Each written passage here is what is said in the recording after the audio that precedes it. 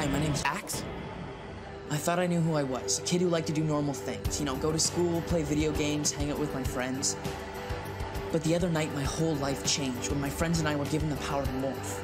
You know, change shapes, become animals. So now Ax, Cax, Ax. My cousin Axel and I can become humans, cats, tigers, humans, anything. Pretty cool, right?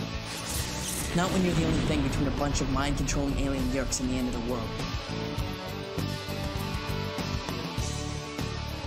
You can't tell anybody because you never know who's a Yeerk and who's not. All I know is now I'm